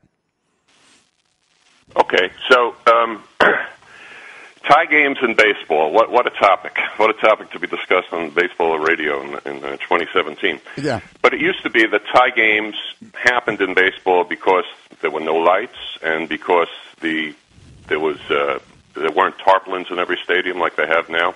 So when there'd be rain, sometimes the games would just have to end for the day. Um, when tie games happened, they were always replayed. A tie game was never an acceptable ending to a baseball game, anytime that day to this. unlike in hockey and football, now you have to go back to the pre overtime mentality in hockey and football because both sports have since uh, incorporated overtime periods to try to get a winner in each game. Um, but it used to be that uh, w- when we were all kids in hockey and in football, if the game ended in a tie, that was an acceptable result of the game. And uh, when you looked in the standings in the newspaper, you'd see every team had a record that incorporated wins, losses, and ties. That was different in baseball. You never saw wins, losses, and ties in baseball standings because when there was one of these oddball tie games, it would be immediately replayed the next day, usually, to get uh, a legitimate decision, a won or a loss. And in fact, that's what happened with the 1916 Giants, um, which uh, the whole uh, in- incident, the tie game, occurred uh, 101 years ago this week. Uh, so the Giants, uh, in the second game of the doubleheader, uh, it rained during the ninth inning. The umpire called the game off while the score was tied 1-1. So instead of playing a single game the next day, they played a doubleheader. So the Giants had to find another pitcher. So did Pittsburgh. And uh, the Giants won the doubleheader and went on with their streak. Today, if that same thing happened, there would be a suspended game, and they would pick it up from the point of the next day. I, I guess it took a, a while to get to that point to, uh, to to regard those games as suspended games. But that is that's basically the story. And in baseball, a tie game has always been ignored uh, in terms of winning and losing streaks. Um, that was the case uh, in 1916 with the Giants, and um, it's been the case from that day to this. That is Okay, an excellent. So, let me just say, what- what- that's what- an excellent explanation. Let, let me just ask this question. So that game, you're telling us because we couldn't find this anywhere. You're telling us that game that was a tie that was replayed the next day or finished the next day, and the Giants won it. Well, it was it wasn't picked up at the point. It was it was started over from the beginning. Seems a little crazy by today's standards, I'll admit. The the whole idea of a suspended game where you pick it up right from the point where it was stopped, that was not yet in vogue in 1916. They hadn't yet come to that point in uh, human development. So Oh, okay. we, we so so it was so another game was played that made up for that game. to, to replace the tie game. Okay, you win. That's it. That's it. It's over. It's over. He wins. We, we didn't know that part of it. We didn't. You win. No, we didn't. And, and Steve wins. I mean, that's it. Uh, By the way, Steve, do the statistics from the from the that game count? Like Honus Wagner, for example, played in that game, and I we haven't found the Yes. stats from that game. Ye- Do those yes, they count? That, that was an that was an odd thing, but think of it. You know, think of it this time. It, I, I, a friend of mine uh, was having trouble understanding the point the other day. I said, "Well, think of a pitcher who has a a winning streak going. Think of a pitcher who has a winning streak going. Now he pitches in a game after he say won ten straight games. Now he pitches in a game where he gets neither the win nor the loss. He gets a no decision, as I like to say now. His winning streak still uh, continues into his next outing because there was neither a win nor a loss there to break the streak. So that that at least clarified it for one friend of mine. I don't know if it'll clarify it for uh, for an entire radio audience here. I, I don't think I agree with. I don't think you can have a nine inning one one tie if you continued the game from the ninth inning and then there was there there, there was that one game. But they played an entire new game. So basically, you're saying a nine inning game one one tie didn't count for anything, but those statistics counted, even though they replayed the game entirely. That I'm not going to lie, I don't agree with. I don't think those stats should count. Well, that's that what one they game. did. I mean, that, that's a matter of historical record. That's that's that's that's the way they handled it. And as I say, today, uh, you remember uh, most famously, and there was a World Series game a couple of years ago between Philadelphia and uh, Tampa Bay, Right. where it was tied, uh, and it started to rain so heavily that uh, they couldn't play anymore that night. And they came back two days later and picked it up from the exact point where they did it. And they had a full house. It was the World Series, of course, and people came back to to, to see the end of the game. I think probably the feeling back in, at the turn of the century when people weren't getting crowds of forty thousands at baseball game typically was if they if they ever picked it up the next day, um, who who would come back to to see uh, two innings of baseball or something like that? You know, um, so I get that I- thought process. You won this battle, but I would like those statistics in that tie game 1 1 to not count. I would like to get some victory in this, so I would like you to go back and wipe out those Steve, can you do that? Do you have that authority? Mike, how about Mike puts out the Golic record book? And in that record book, those statistics can be expunged, and then you'll have to deal with uh, Honus Wagner and two guys named Heinie.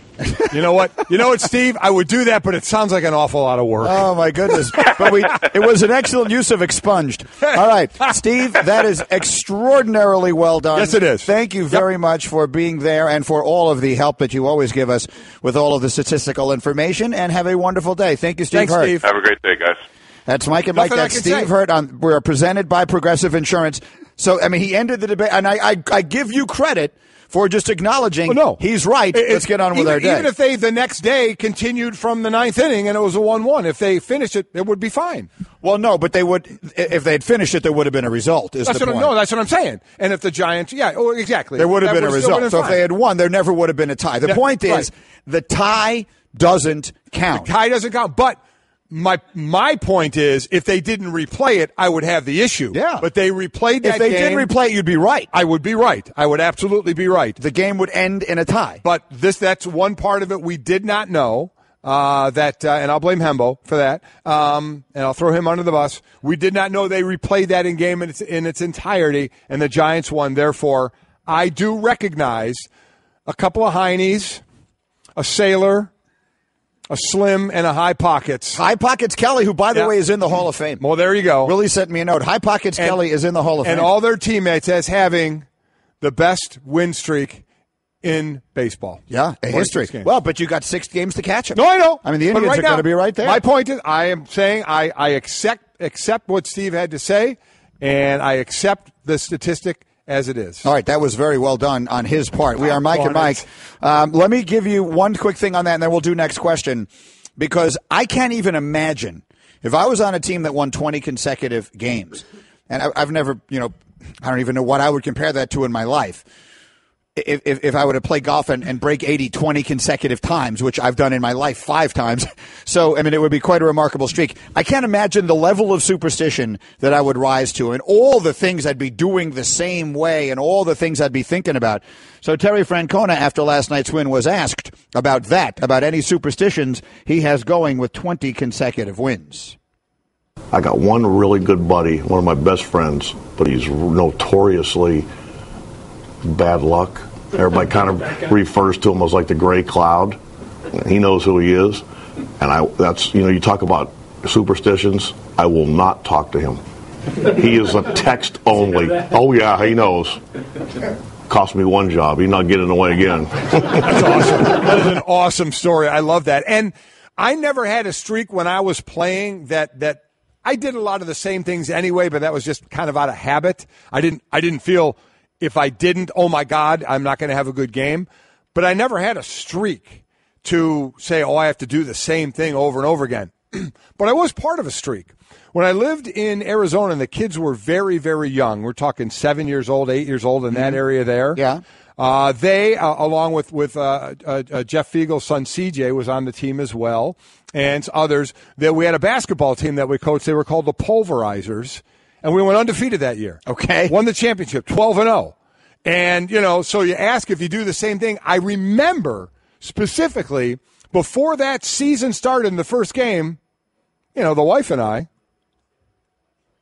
Huh. So we won, and I said, "Hey, you know, how'd that work?" Well, twelve games later, Did she buy that? You know, no, not at all. I was going to say, no, not one bit. Does that work? I tried. I said, "Hey, hun, remember when?" That's a really creative way of going about that. Uh, all right, Mike and Mike, congratulations. All kidding aside to the Indians, it's an incredible streak. They've they've outscored their opponents in, over the twenty wins, hundred and two to nothing. It, it, it is. They haven't lost a game since crazy. August twenty third. And I think another one is about jumping on a team early in the first three innings of these games. They've outscored their opponents sixty-four to twelve. So they're just jumping all over these teams. All right, let's do next question here. And the first one involves the Indian. Next question brought to you by Indeed.com. Post your next job opening on the world's number one job site. First question Which streak is more significant?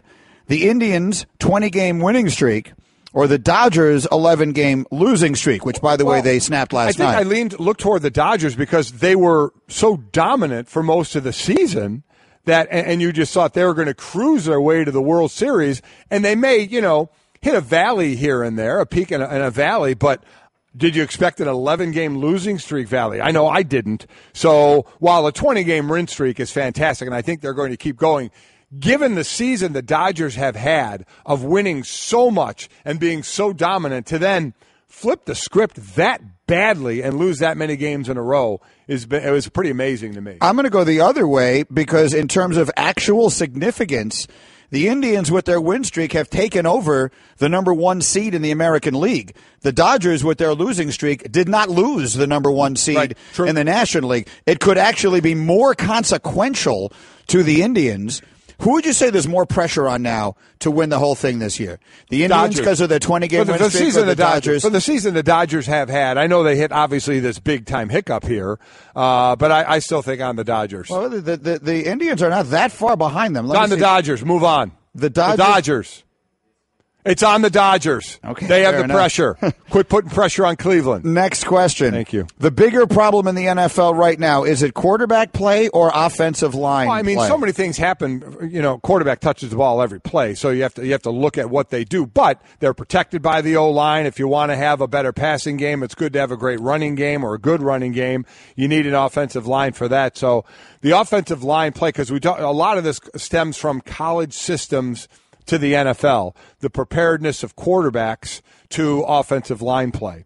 You know, in a quarterback, you have one person, you know, and you try and have them grow as a quarterback. And, and for the offensive line, there there is no other position where multiple human beings have to work in unison more than the offensive line. And if one guy is off, that could wreak havoc. So I think the offensive line has been very, very spotty. And you see the biggest difference on good offensive line of just how much that's going to help a team. So I would think, lean there. and I, I think that the struggles at both position, p- both positions, stem from the same thing, which is the difference in the style and the way the game is being played in college versus the pros. I think the quarterbacks actually are are in a more advantageous position. Because they can hand the ball off no matter what. Yeah. The offensive linemen, if they're not accustomed to getting down in that stance and blocking the way they need to in the NFL, how do you even project these guys to Tough. the pros? Very, very tough. That's I why mean- you wind up with these number one picks who can't play. Yeah, it's very difficult. That's why you know there, there's not looking at stats, you know, for statistical position, but for O line, you really got to hone in on how much they're in their stance, what kind of step do they have, how are their fundamentals that can translate off to the next level. Uh, to me, that is the bigger problem and the more lasting one in the NFL. Next question of the teams that currently have sole possession of first place in their division, and there are only three the Bills, the Jaguars, and the Rams. Which is the likeliest Wow. to make the playoffs? You know, you sit there and look at, at, Jacksonville in that division, and you say, mm, you want to kind of hide the quarterback, you want to have a good running game, and you want to win on defense. Well, that's kind of Houston right now, right? You don't want to put too much on Deshaun Watson's shoulders. I think he's going to be he'll be the starter. You don't want to put a lot on him. Right. You want to be able to run the ball. The O line has some issues there, and you're relying on a great defense, but you didn't see it in the first game. You saw it with Jacksonville. The Rams, I mean, you're dealing with Seattle out there. Cardinals just lost David Johnson. That really, really hurts them. The Bills, I don't know. I, I, I, I, I, d- I just don't see it yet. Out of, I'm actually going to lean would lean toward Jacksonville. I would lean toward the Rams. I think the Rams are the team of this group that has the best chance to make the playoffs. The Bills, I think, are not. The Bills played the Jets. I, I, I get that the Rams played the Colts, but the Rams annihilated the Colts. The Bills and the Jets, I mean, it, the Jets coached their way out of a chance to win that game. I, I think the Rams, with improved quarterback play, they played without Aaron Donald, their best players coming back. I'm not saying I think they will make the playoffs, but of these three, I would pick them. Next question. Lonzo Ball being ranked ahead of Carmelo Anthony in ESPN.com's rankings is blank. I, I always have a problem. This uh, again, you know, I, I've had my issues in talking about LaVar from from the talking standpoint, not starting his own business and all that, but the talking standpoint has nothing to do with the kid. He looks. To, to me, his vision of the court and the way he moves the ball and gets teammates involved is fantastic. But I have a problem with ranking players who have never touched the field yet, touched the hard court, touched the ice, touched anything, to rank them in there. So I, I have an overall fundamental problem with these kind of rankings anyway. That's not to say that at this point, listen, Carmelo's coming to the end of his career. I mean, he just is. And Lonzo is just starting his career on what looks to be a promising career, but it's still got the P word on it more than anything else, and that's potential. So overall, I have a problem with people who haven't even stepped on their particular field yet being in these rankings. Yeah, look, I mean, if you were drafting right now, you would take Lonzo Ball ahead of Carmelo Anthony in the big picture Sure because he's Yeah. at the very beginning Yeah. and Carmelo is closer Right. to the end. Right. Do I think Lonzo Ball will be a more effective NBA player in this coming season than Carmelo? I don't think it's ridiculous. Oh, I don't think it's ridiculous I do either. No, no, no, I don't either. So, from the ranking standpoint, I, I get it. I can see him being ranked ahead of Carmelo. I'm, I'm just not a fan 64 feels awfully low, though, for Carmelo. For I mean, Carmelo. very, very low. First time skydiving? Sure